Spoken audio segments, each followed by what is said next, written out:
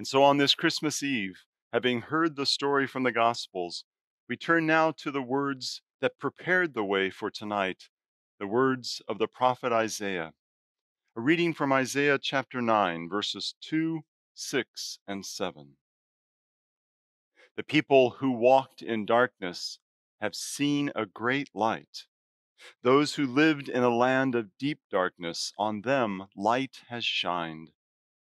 For a child has been born for us, a son given to us, and authority rests upon his shoulders, and he is named Wonderful, Counselor, Mighty God, Everlasting Father, Prince of Peace. His authority shall grow continually, and there shall be endless peace for the throne of David and his kingdom he will establish and uphold it with justice and with righteousness from this time onward and forevermore. The zeal of the Lord of hosts will do this. Friends, this is the word of the Lord. Thanks be to God. Let's face it, the past months have not been easy. Long ago, the prophet Isaiah spoke the words about a people who walked in darkness. Those words actually seem like an appropriate metaphor for us today. When you walk in darkness, you're not sure where you're going. You stumble, you lose track of time. You wish it would just be over and that there would be some light finally breaking through on the horizon. Now, during this pandemic time, we've tried to make the best of things. We've stayed home as much as possible. We've learned a lot about restaurants that deliver and curbside grocery services. We've stocked up on paper goods. We've bought personalized masks.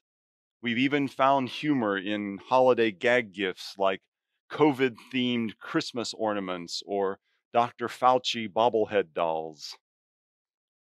But still, it's been a dark season with little to amuse us.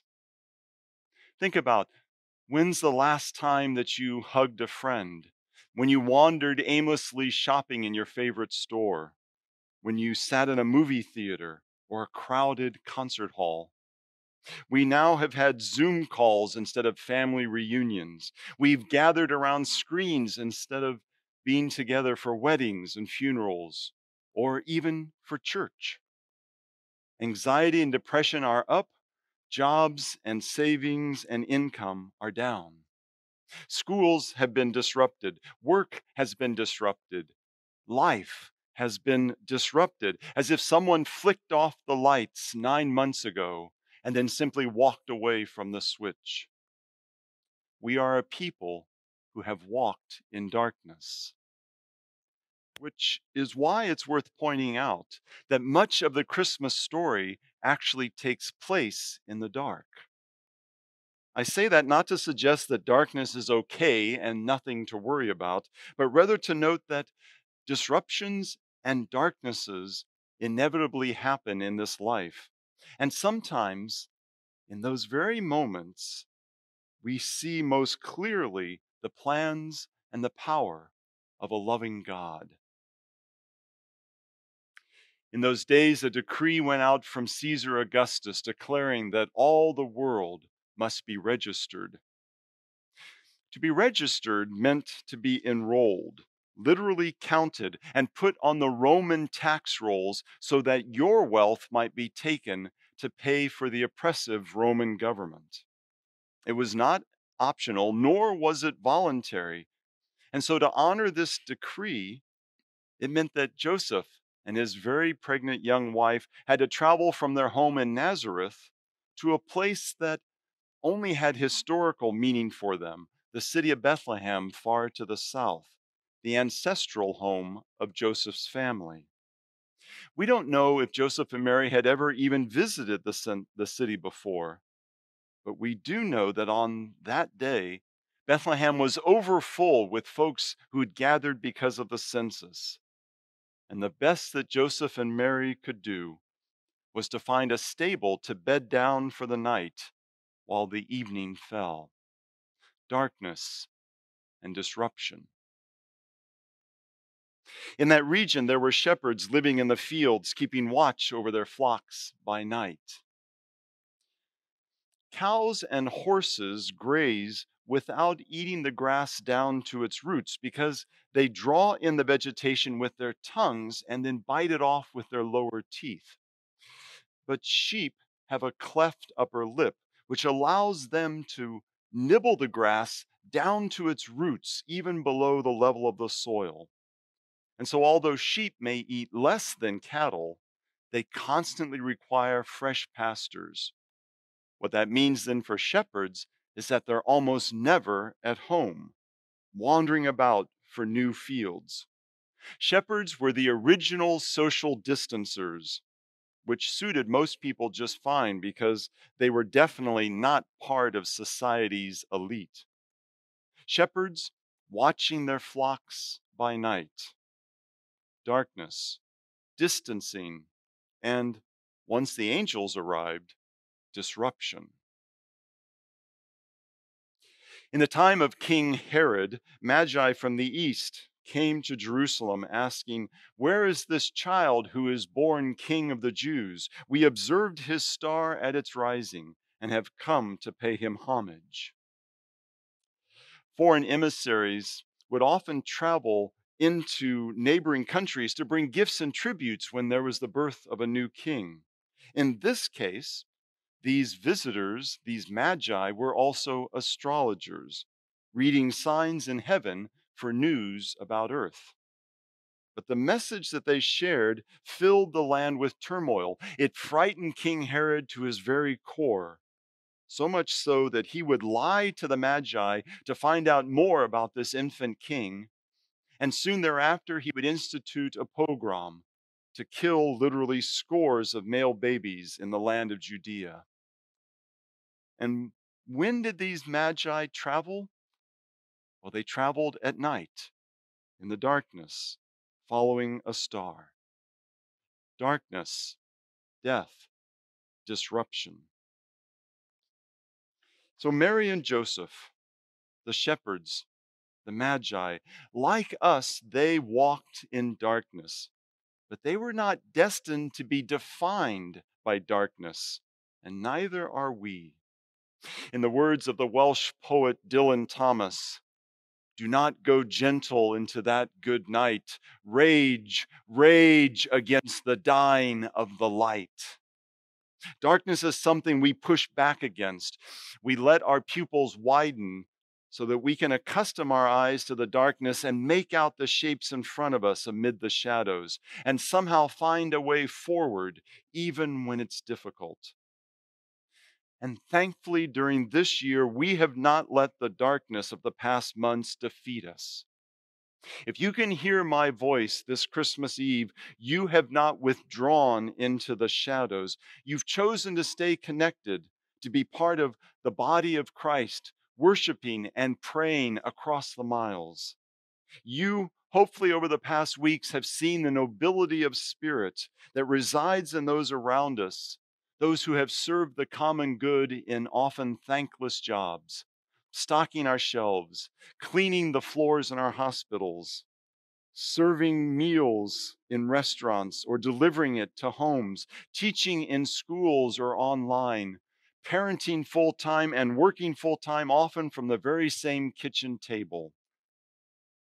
During this time of isolation, we have pushed back against the darkness after the death of George Floyd, we broke the silence to cry out that Black Lives Matter and to flood the streets in protest. Despite our political cynicism, we voted in numbers in November not seen for over 120 years. Despite, despite prejudices that would despise the stranger and the migrant, this global pandemic has shown us that borders are simply human chalk lines pretending to be walls. Because if one person, one child anywhere is at risk, then all our lives are touched. And that's why we do not go quietly into that good night. By God's grace, we know that this world holds much more than just darkness and disruption. Another poem by Dylan Thomas is titled Light Breaks Where No Sun Shines. And I love that image. Too often we imagine the Christmas light as something that breaks in like a dramatic beam from heaven, a celestial spotlight blinding us in all its glory. But think about the real Christmas story. Mary and Joseph's eyes had to adjust to the darkness of the back streets of Bethlehem as they searched out a stable that would ultimately hold the Christ child.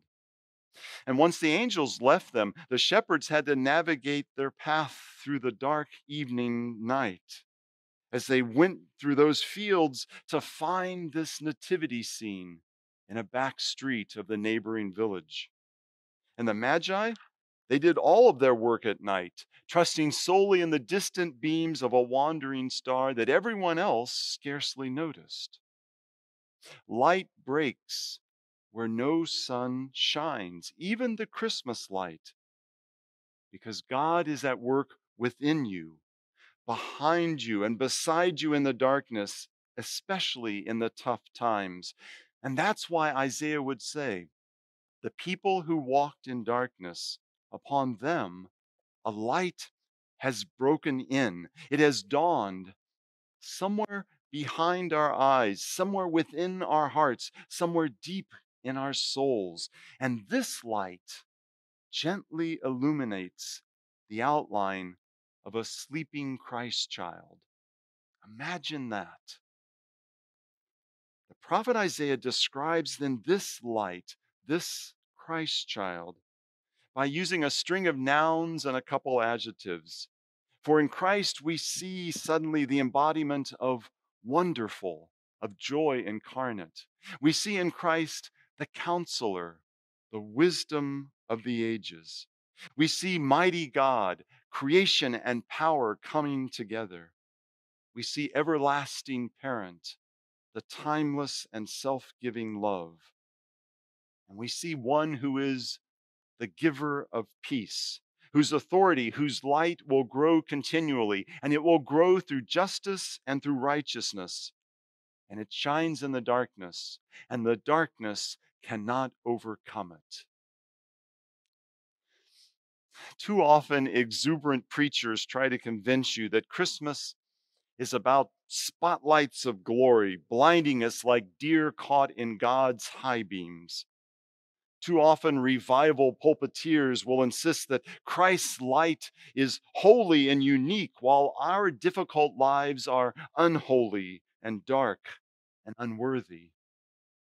Yet all that evangelical shouting for us to step into the light can give no comfort when we must walk in darkness.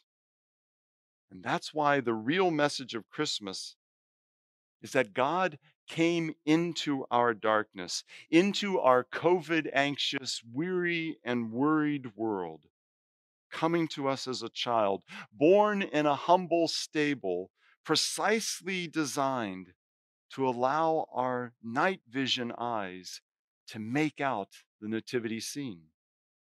And as we focus on that scene, a soft, gentle light reflects back to us, and we understand. And like the prophet Isaiah, we too say, Behold, the one before us is wonderful, is wisdom, is creation, is timeless love, is peace, beyond all understanding. So know that you have company in this dark season. Look around you. There are shepherds and magi, Mary and Joseph, and a child who is born to us, a babe who is given to us, the light of the world. And we are never alone and in Christ, by Christ, through Christ, the darkness will pass away. Thanks be to God. Amen.